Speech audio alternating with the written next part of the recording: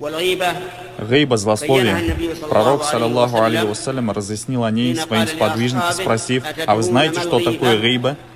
Они сказали, Аллах его посланник знает лучше. Гейба — это упоминание о твоем брате в его отсутствии того, что ему не понравилось бы. Его спросили, о посланник Аллаха, а если я вижу, что в нем есть, и это говорю об этом, если ты говоришь о нем, даже если это есть в нем, то ты попал в гибу. А если ты сказал о нем то, что в нем нет, то ты оклеветал его, попав в бухтан.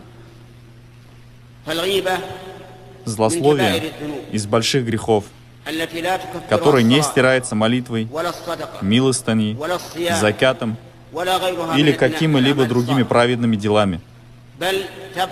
Однако он остается на весах. Сказал один из салифов, Абдиль-Кауи, и сказано, что малая рыба и малый бухтан, они оба из больших грехов.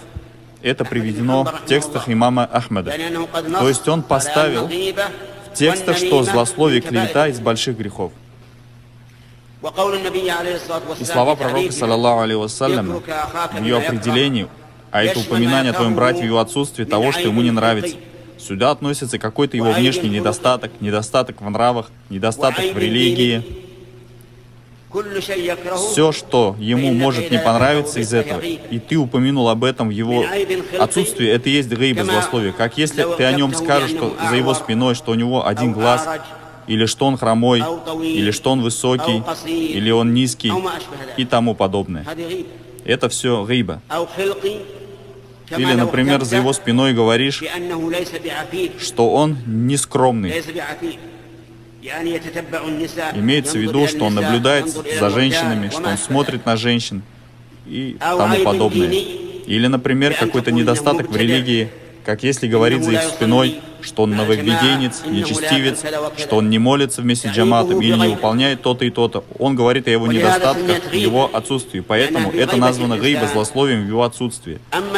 А если злословить прямо ему в лицо, то это называется оскорблением, надругательством и не называется гейбой.